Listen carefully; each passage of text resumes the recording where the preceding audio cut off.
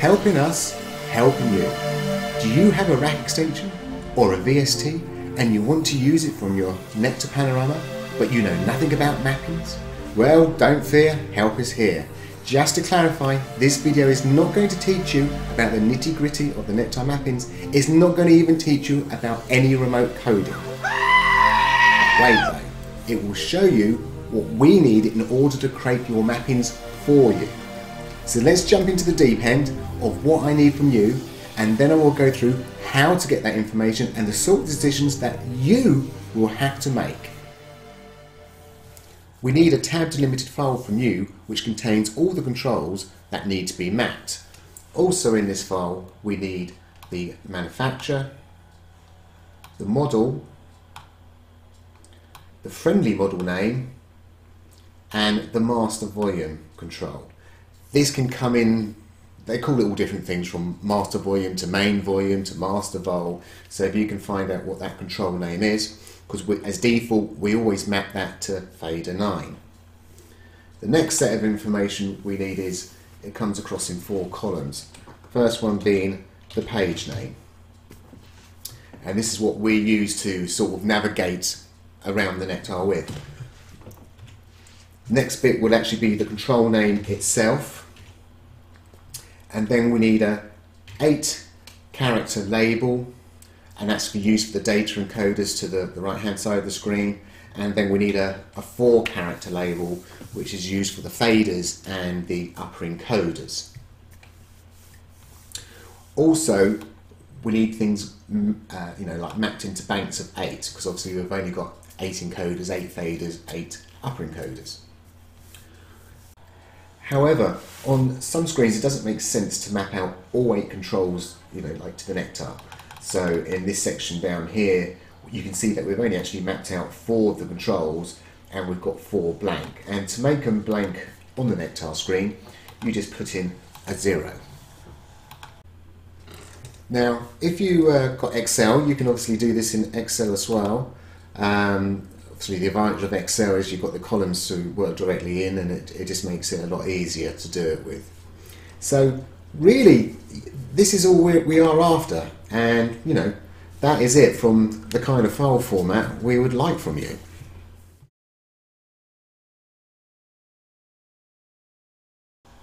Now that is a very good question. So let's see, where do we find these controls?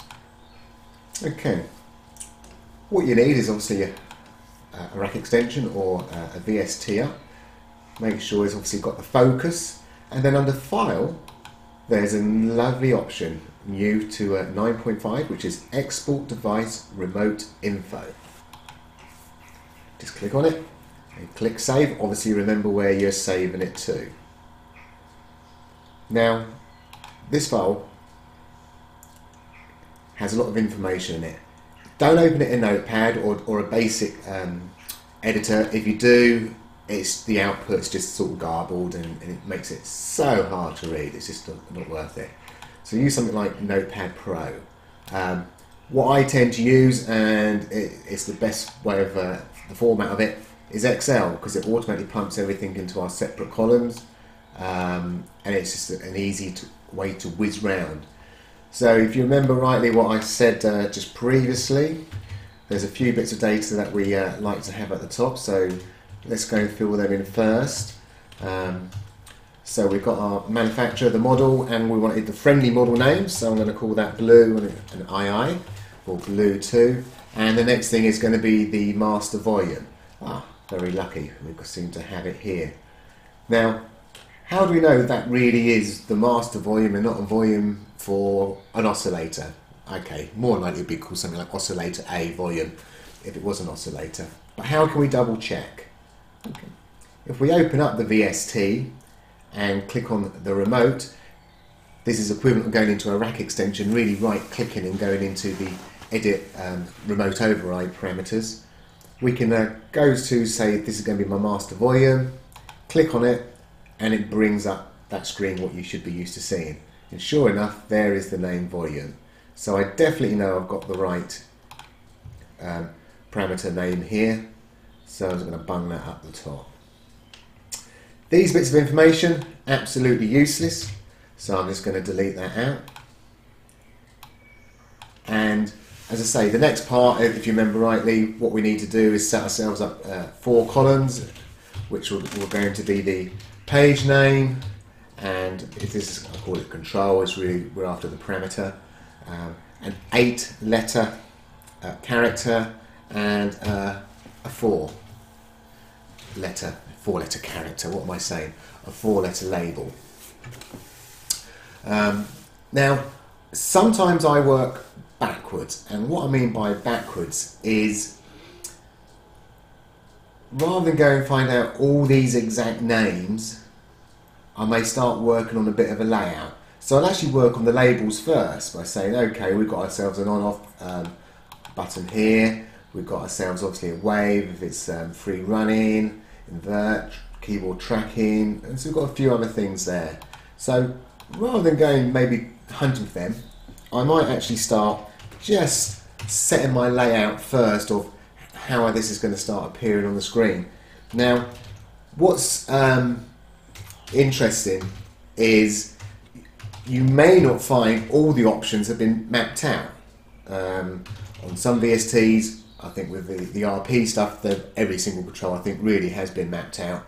Um, but some other v, um, VSTs, like I was, I've done the Korg M1, and out of the hundreds of parameters really you could change in the VST, there was only a handful. It really was. It, it, was, it was down to something like 40 odd parameters. It was uh, probably one of the smallest mappings I've done in a, a very, very long time.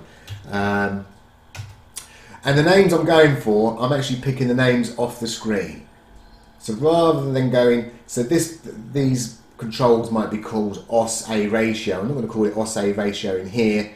My page name is going to be called OS A, so that tells everybody when they're actually viewing on the, the, the Nektar, that is the page we're on. And I'm going to call it uh, PG1 or P1, P1, I'll go for P1. Um, and so I'm going to need one more on this. So there we go. So there's, there's a bank of eight. And so really I'm, I'm now starting already on my second page. And again, I'm just going to sort of carry on. Um, the difference being when you count up the controls, in fact on this particular one here, I think there's like 19 controls. Well, when you divide that by 8, obviously 8, you get to 16, so that means there's going to be a few hung over. Um, then you start to group them up. So I'm actually going to put these three controls together and these three controls together, and I'm going to leave a space, and I'm going to put these on a separate page. So again, all I'm going to do is so semi-fine and, and sub, so semi-fine and sub. We've got another shape down here. Did I put shape earlier? I did. Oh, look, we've got two shapes. Okay, so they're on different pages. So we, we might have to identify, we've got a shape mode here, and obviously this is the shaping amount. So we, we might want to change one of them, but at the moment I'm just going to leave it. But these are the sort of decisions, decisions even, you've got to um, you've got to make. And what I actually said was I was going to leave that blank. So I'm going to have three controls, blank, three controls, and a blank. And, it, and this is the hard bit. This, and it takes ages trying to work out what should go on what page. And so, like with here, do we go one, two controls, three, four, or is it one, two, three, and then four and five? You know, you sort of sometimes you have to just do it and then have a play with it and see how it feels. Does it work? Doesn't it work? Um, and yeah, that's that's really it, really. And you carry on and on. Okay, so now we could start taking obviously the control parameters and start to fill in. We can start to fill in what's what's on this side. Um, and I'm going to go through all these. So we've got tuning. Tuning, I think, happens to be the semi, as I say. We're not too sure. We can go on here. We can click on that, and it comes up. Yeah. So tuning is to do with the uh, the semitones, as we more know it as. So that there, control there. Whoops. Let's just do a copy and paste. There we go. So we've got that up there. So right, I'm going to go through and uh, fill these in, and then I'm going to come back to you in a second once that's done. Okay, so welcome back. Um, I've uh, completed uh, my first three pages. And um, what I'm going to do in a minute is um, actually get these mapped out and get them working in within Blue. But as I say, I don't have to have all my pages mapped out to actually start uh, prototyping this and uh, seeing how this is actually going to work and all the rest of it. But let's go ahead and let's see uh, what it does look like, the, the final result.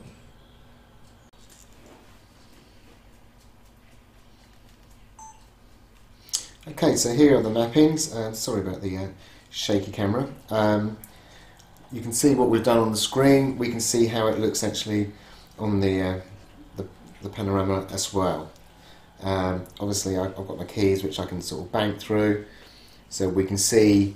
Um, obviously, these ones where there's blanks, that's where we have our zeros, and that's how it's going to look like on the screen. And we've got another screen here, and you can see where the, the blanks are. Okay. And then obviously we've got ourselves a, fade, a fader view, so we can see how it's going to map out, and you can see where the blanks are on there for them particular screens. Again, you know, if you look at the top, this is how we, we, we've done the menus here. So this tells you the fader menu. Over the other side, is showing you the knob menu as well. Um, obviously, we've got the blue two in the middle, which we sort of put at the very top of the script. Um,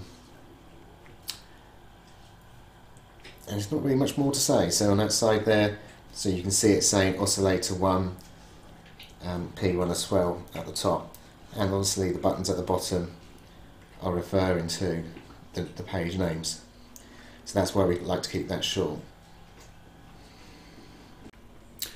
So really this uh, concludes this sort of presentation. Um, obviously the final thing to do is obviously get them files back over to us at Reason Talk and um, we're obviously turn them into mappings and uh, hope the community um, appreciates all the uh, work that goes into it. So, uh, happy mapping!